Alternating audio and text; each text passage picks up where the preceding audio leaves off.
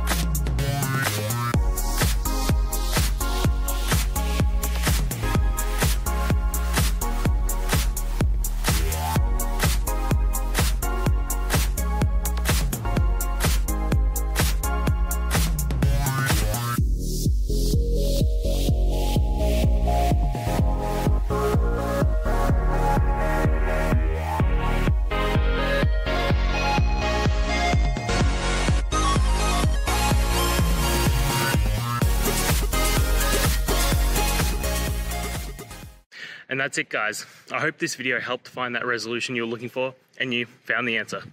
Guys, please hit subscribe if it helped, and I'd really appreciate it. I'll see you next time on another one of these technical videos. Have a good one.